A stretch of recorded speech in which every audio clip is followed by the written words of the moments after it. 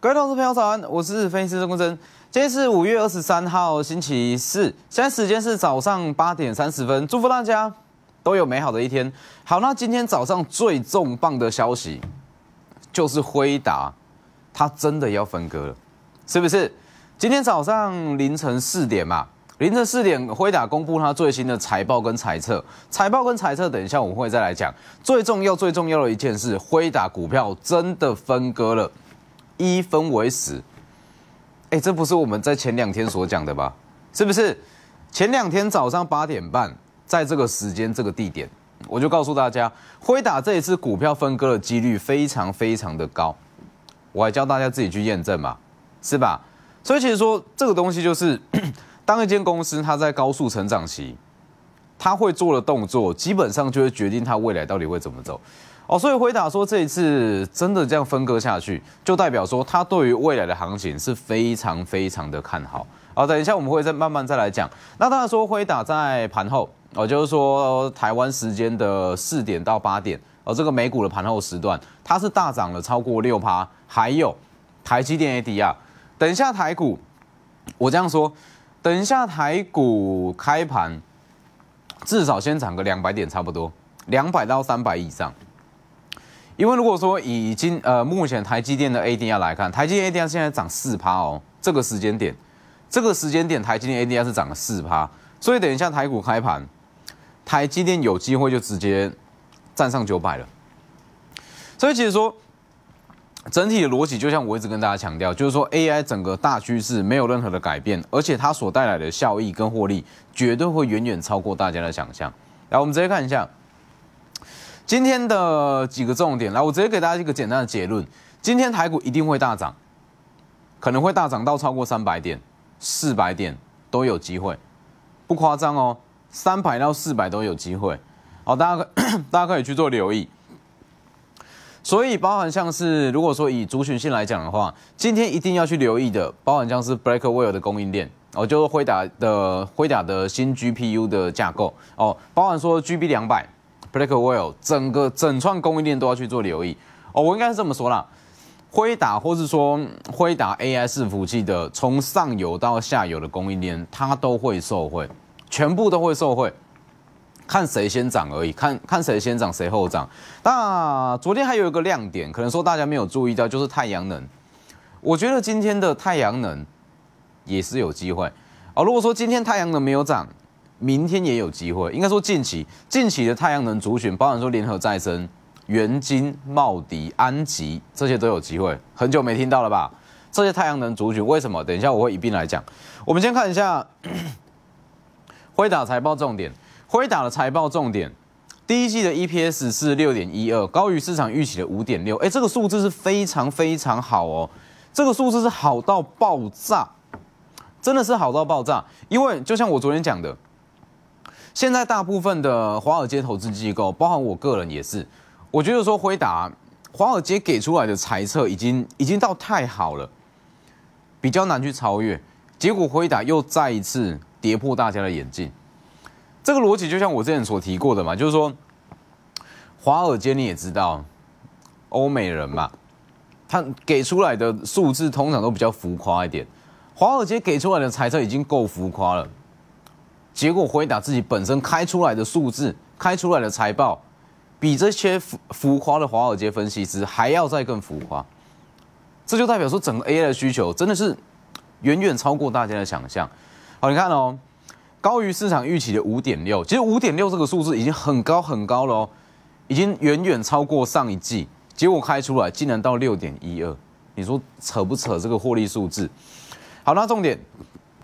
还有包含说第一季的营收两百六十点四亿，高于市场预期的两百两百四十六点五亿。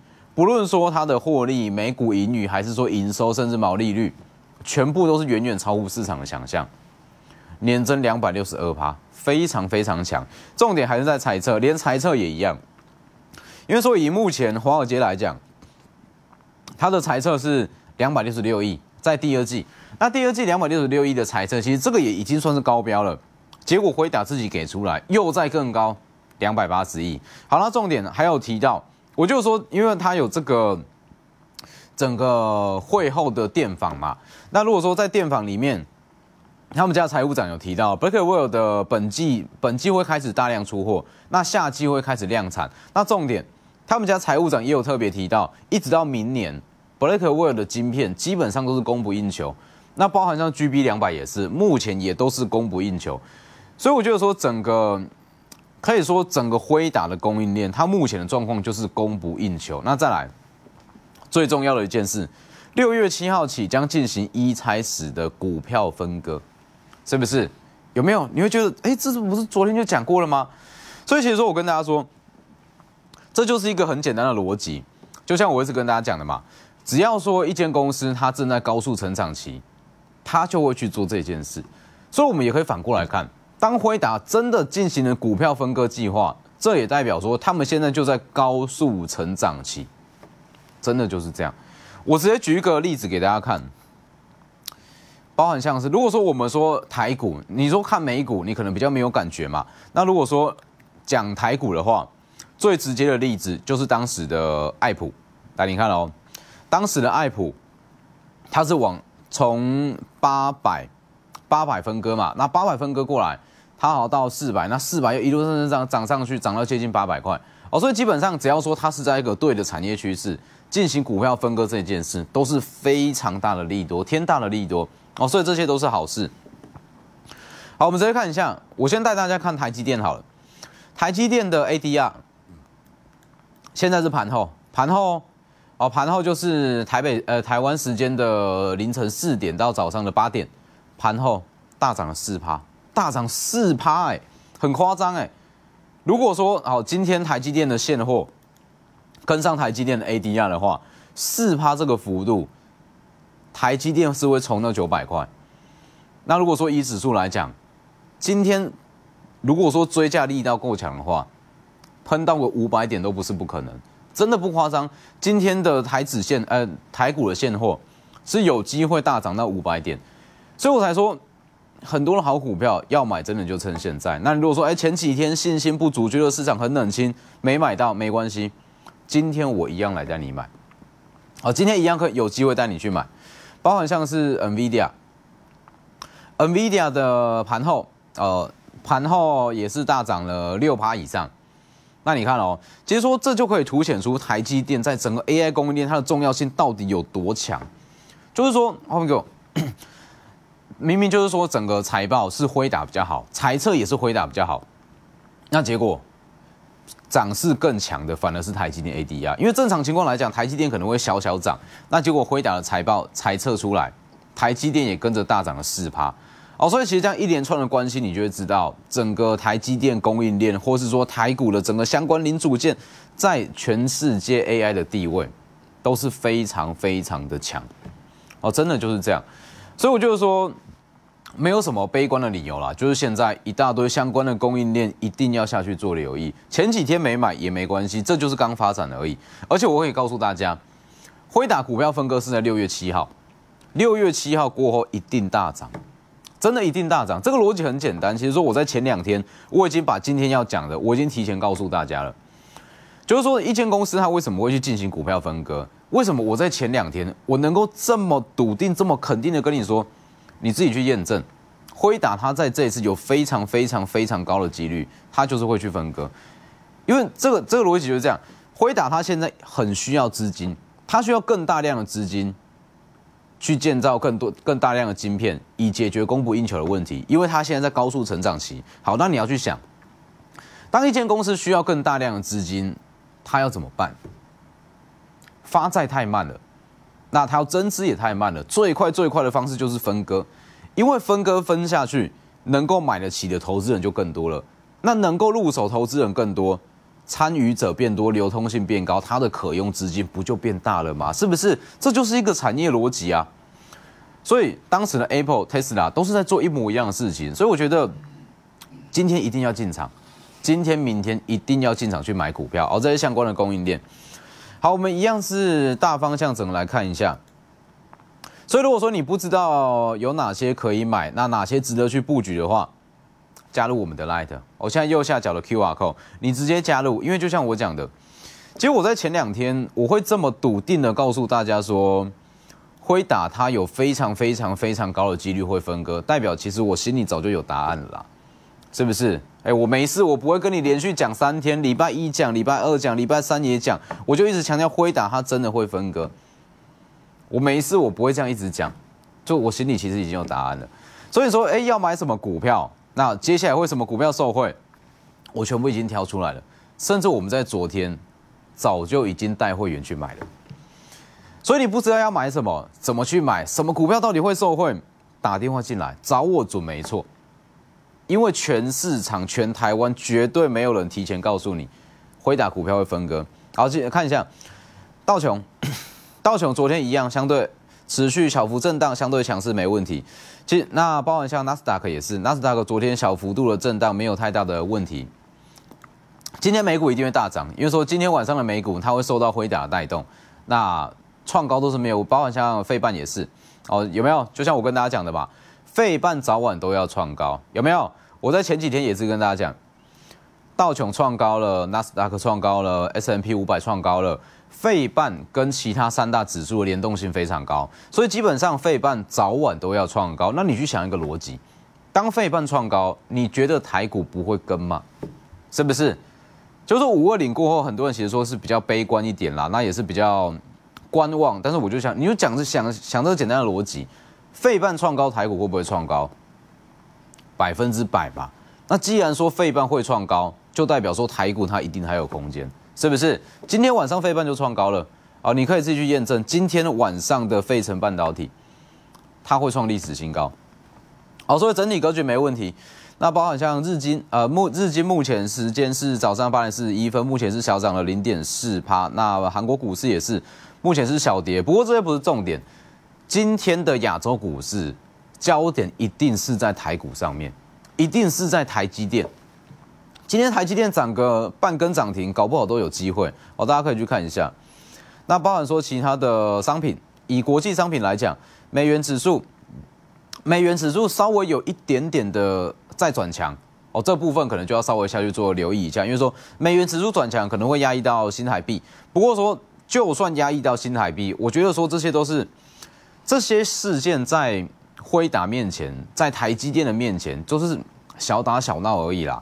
好都不会有什么太大的影响，就是说，辉达跟台金的光芒实在是太耀眼了，什么美元啦、美债，全部都会被压过去。哦，所以这些就是需要留意，但是不用说太过于担心。包含像美债也是，哦，美债也是昨天小幅度的震荡。黄金，啊，黄金目前一样是在一个强势整理格局。原油，哦，原油还是持续在弱势。我觉得原油弱势就是最好的状况，原油弱势，它就会去压通膨。通膨就上不来了，那通膨上不来，降息几率就越来越高哦，没有问题。那 VIX 也是一样，比特币小幅度的创呃小幅度的震荡，还是一样看好比特币，它会创历史新高哦，大家可以去做留意。好，所以以昨天的美股来讲，最重要的就是两档哦，你今天就去做留意。最重要的就包含像是第一太阳能哦，美国的第一太阳能公司昨天是大涨了十八趴。哦，回答讲完了嘛？反正回答的供应链，你就去留意 GB 两百，就去留意 Blackwell、广达、红海、技嘉、伟创等等的，甚至八二一零的秦城，这些全部都可以去做留意。只要是未接低，它一定会有它的补涨空间在。好，那我们再来提到说，刚刚所提到的太阳能，如果说以太阳能来讲，因为昨天的这个美国第一太阳能公司大涨了十八趴，单日哦，单日大涨十八趴，那就看它的盘后。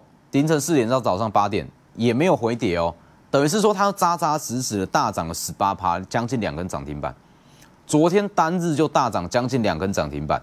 好，那你说，哎，美国太阳能涨，台湾就一定会跟吗？这个逻辑是这样，就是说，其实昨天的美国第一太阳能它会大涨，画面给我，它会大涨，主要就是因为说。他们有去做反应嘛？因为说反倾销税的问题啦，他觉得说他去跟拜登政府反映，反映说中国大陆它这部分的太阳能都在销价竞争，导致他们的毛利率大跌了大概是五十趴左右，整体的售价下跌了五十趴啊。因为中国大陆它可能在越南、泰国等等的建厂，当它用非常非常低的成本卖到美国，所以在美国这几天比较大的太阳能公司，他们就算是说连署啦。哦，叫拜登他一定要去克征反倾销税。那我就说这个法案通过的几率非常非常高。我看昨天第一太阳能大涨十八趴就知道。那如果说这个法案通过之后，台厂的太阳能板它就会收到转单，因为说如果这个反倾销税通过，它要从中国大陆进，它的成本会拉到非常的高。那这个时候怎么办？它就转往台厂下单。好，所以我就说这件事情，昨天的第一太阳能大涨，它背后的意义就代表说，元金、茂迪、安锦、联合再生等等的有机会受惠到转单。好，今天就可以去做留意。好，所以如果说在今天会非常重要，不知道怎么买股票，买哪些股票，直接打电话进来，或直接私讯我们的 Light。哦，我们先休息一下。好，现在时间是早上的八点四十八分，台股是小涨了，大概是四十点左右。涨点好像没有预期中的这么的强，那主要其实就是昨天提前反应过了，我说哎，辉达财报这么亮眼，台积电 ADR 盘后大涨四趴，现在期货怎么好像没有什么动，没有什么大涨，哦，这个逻辑就蛮有趣的，就是其实昨天的台股已经大涨了三百点，提前反应，因为其实昨天很多人不知道说，哎，台股到底在涨什么东西，没有什么大力多，辉达又要公布财报大涨了三百点，是不是？那其实昨天的台股，它有一点提前在反映今天台积电挥打的味道在哦，所以如果说昨天已经提前反应过了，今天涨势可能就不会到这么的强，继续再创高哦。但是这不是重点，重点还是在于个股，包含说 GB 两百，包含不 Blackwell，包含说整个太阳能厂今天都有机会啊。我们再来看一下，因为说，呃，就就像我跟大家说的，我们在节目上啦，不论说我的 YouTube。还是说现在的中式直播，都是给大家一个大方向哦，主要都是大方向的逻辑为主。那详细的个股，那个股里面的进出场点，还是为我以我们的讯息为主哦，我们会员讯息为主。所以如果说哎大方向看完了，那你想收到更精准的个股的进出场点位，哎什么股票可以买？这个族群里面说哎 Blackwell 里面的族群这么多，个股这么多，要买哪一档？那挑出这一档之后。什么股票又要在什么时间点进场？哦，你可以直接加入我们的会员操作哦，会直接给你更明确的讯息。好，那我们直接看一下 现在的现在的盘前。好，现在盘前台指算是小小小涨一点点而已哦，主要就是昨天反应过了。好，那如果说以今天整体的行情来讲，我们先看昨天最热门的，像是说二三五七的华硕，啊，其实说如果以华硕来讲的话，华硕目前的位阶还不高哦，哦，不要觉得说，哎，华硕已经到了五百三十多块，它是不是已经太贵了？其实华硕不贵，因为华硕它在，因为说 A I P C 嘛，A I P C 就像我们讲的，A I P C 它在下半年它会开始去进入一个量产。哦，第二季是一个 A 呃 PCMB 手机的谷底，那到下半年它就会开始进入比较大量的生产，好会从呃会进入一个复苏的周期。那华硕来讲，华硕目前的位阶大概是十四倍本益比左右而已，而预估本益比在十四倍，因为说华硕它的今年预估可以赚到三十五到三十六，而且在二零二五跟二零二六整个趋势它是持续向上，哦，所以基本上整个 AI 呃 PC 跟 NB 的产业。二零二四它就是谷底。那如果说以二零二四的季度来看的话，第二季就是谷底中的谷底，所以我才说其实这些都可以持续去做留意哦。华硕，那包含像是二三三零的台积电，台积电继续在创高八百六十五。哦，那就像我讲的，现在的台积电 ADR 是大涨了四趴，但是台积电目前的期货看起来是没有跟。哦，那主要就可能是昨天的台积电已经提前反应过了，哦，提前反应过这部分的。这部分的涨点，哦，所以台积电一样，就像我讲的，台积电它最好最好的买点是在八百块钱以下。那说现在可不可以买？可以，但是你现在要买，至少放个半年。哦，放个半年，如果说整个 AI 持续发酵，反映到二零二五年的话，台积电上看四位数没有问题。哦，你可以去验证。那包含像是刚刚所提到的，它好像是说二三一七的红海，红海也是，红海在目前这个位阶也不贵，就像我讲的。红海如果跟广达去比，同样都是一个 ODN 的产业，那同样都是 ODN 的产业，红海今年预估是十一到十二，那广达大概是十二点多哦，它的 EPS 比红海高这么一点点，但是股价高了一百多块，就有机会产生这个比价效应哦，所以一样可以持续去做留意。好，那我们再回到刚刚所提到的太阳能，如果说以太阳能来讲，因为说如果说这个法案正式通过，台厂一定会收到转单哦，就是说刚刚所提到的，包含像是六四四三的元金哦，大家熟悉的元金啊，元金就可以下去做留意，它的线型没有到很好看，但是主要它就是要吃去吃这个第一太阳能的转单。哦，所以元金可以去做留意，还有包含像是三五七六的联合再生啊，有没有？这些都是很久没听到的股票，我觉得接下来有机会啦，因为说第一太阳能的位阶低，那第二它也有短线这种反倾销税的题材在，包含像是六二四四的茂迪啊，茂迪也是有没有？近期稍微有一点在反应，所以我觉得说茂迪也值得下去做留意。那还有像是三三六八六的。达能，哦，达能也是，也是稍微可以持续下去做留意，这些都是量成交量比较大一点的太阳能厂。因为你说，哎，它真的能够吃到转单，有什么实质实质的贡献？我觉得可能难度比较高啦，哦，因为毕竟说以台厂的太阳能厂来讲，在国际上它的占比是没有到很高，但是不管怎么讲，短线上它就是会吃到这部分的题材，哦，光是题材股价就有机会，这就可以去做留意。好，那如果回到我们电子股来讲，其实说电子股。就很多了，从 GB 两百一直再到 Blackwell，从上游的 IP 一直再到下游的 MBPC，能够操作的真的非常非常多。好，那如果说看昨天的话，其实就像我讲的，六二一三的联帽其实位阶不高，有没有？其实我在前一个礼拜我就跟大家讲了，香港的建涛在大涨，建涛大涨，它背后就在反映一件事，通波基板的报价在涨是不是？建涛在涨，一定就反映这一点，因为说建涛它是全球最大的铜箔基板厂，所以建涛涨完，我当时怎么讲？一八一五的富桥去做留意，有没有？富桥这两天两根涨停板，连续喷了两根涨停板哦。不过还是要提醒大家，就是说富桥在今年能不能转亏为盈，目前还是未知数。所以一八一五的富桥，我只建议短线操作。再强调一次，短线操作，什么叫做短线？短线就是纯看技术面，你想用什么均线都可以，跌破五日线出场，跌破十日线出场，就这么简单，纯技术面短线操作。那当上游的波线布、波线杀、富桥涨完之后，资金就可能会回流到比较中下游的铜箔基板，联茂、台光电跟台药。那如果说联茂、台光电跟台药的话，目前是这三档，其实目前位阶都不高，但是短期短期内比较看好的会是六二一三的联茂跟六二七四的台药这两档。都很有机会，目前位阶都不高。那因为说台光电其实也不错啦，只是说台光电它之前有调这个韩国斗山厂的订单。那调斗三厂的订单不是说它营收就受到什么影响，而是说它需要去找其他的客户订单去补它这一块的缺口，所以它的起涨周期会稍微的比较慢一点点哦。这部分都会持续现在做留意。那还有包含说位阶比较低一点的，我一直在强调金相电，或是说。像二三一三的华通哦，这些其实全部都是跟 AI 的上游、下游伺服器全部都有相关，未接地它就都有机会。所以今天如果说你不知道到底该买什么股票，去买什么样的股票有机会受惠，打电话进来，或直接私讯我们的 Light，在今天收盘之前，或是在礼拜五之前，我带你来买下家。本公司与分析师所推荐分析之个别有价证券无不当之财务利益关系。本节目资料仅供参考，投资人应独立判断、审视、评估，并自负投资风险。